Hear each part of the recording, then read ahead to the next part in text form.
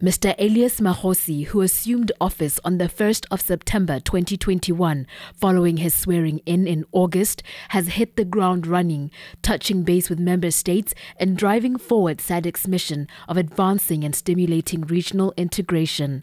To appraise the excellencies on how far we are on the decisions that have been made over the years to date uh, by the SADC head of states uh, on progression primarily of regional integration and issues of peace and security. So just to reflect on those and uh, share some thoughts on how we think uh, particular regional integration and economic development can be enhanced.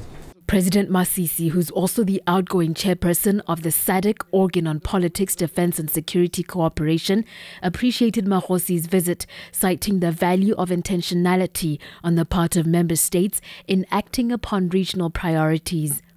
One of our priorities must be ensuring that there is governance and good governance within our own states. We as SADC must hold ourselves accountable for that. But you know, look at our summits, look at our meetings. We don't, we don't ask about Botswana. We don't. I'd like us to do that. I'd like to be asked difficult questions in closed door meetings. And we in turn get to ask others difficult questions. These are the priorities that I'd want us to really focus on.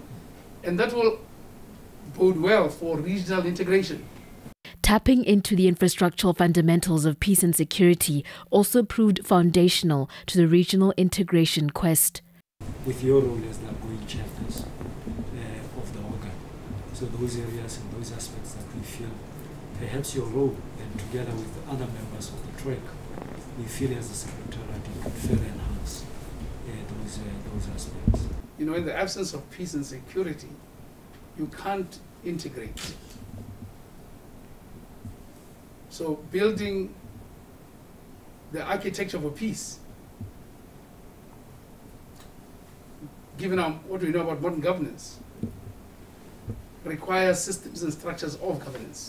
Mr. Elias Magosi is the seventh executive secretary of SADC, having been appointed last year at the 41st SADC summit held in Lilongwe, Malawi.